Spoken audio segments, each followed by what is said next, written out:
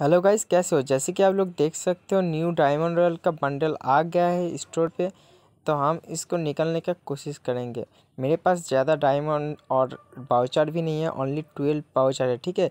इसमें से निकलने का ट्राई करेंगे। मेरा ट्रिक देख लो, आप लोग अगर निकलते तो अच्छा है, अगर नहीं निकलते तो भी ठीक है। तो आप लोग ज़रूर इस वीडियो को लास्ट तक देखते रहिए तो चलो, बिना किसी देरी के वीडियो को शुरू करते हैं।